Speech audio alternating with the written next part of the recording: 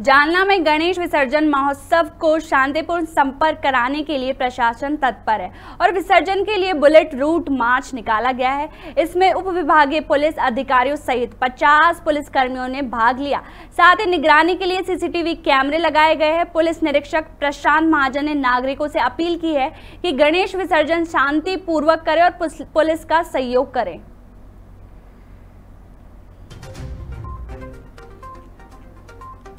आज सदर बाज़ार पुलिस थाना और गणेश विसर्जन का जो मुख्य निर्वहन मार्ग है, यहाँ पर हमने आज बुलेट का रूट मार्च लिया है।